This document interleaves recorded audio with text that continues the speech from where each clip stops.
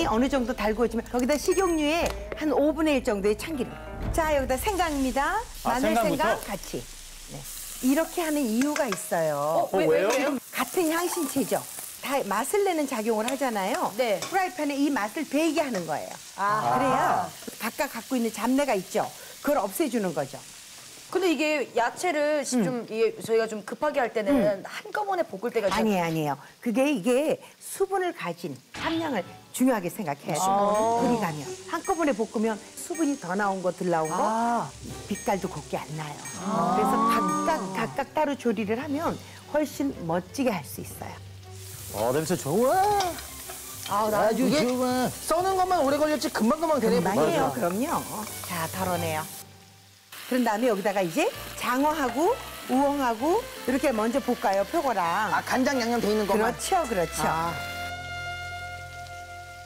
선생님, 근데 원래 네? 장어를 먼저 볶아가지고 이 장어의 육즙이 네. 채소에 좀 스며든다고 해서 그렇게 하는데 왜 선생님 장어를 맨 마지막에 볶는 거예요? 아니 왜냐하면 장어 육즙에도 좋은 맛도 있지만 비린 맛도 있죠. 그래서 그 마지막에 넣으면 채소 향이 다 난 다음에 그냥 쓱 들어가니까 장어의 맛있는 맛만 먹을 수 있죠. 아 하나씩 하나씩 넣는 거예요, 그냥.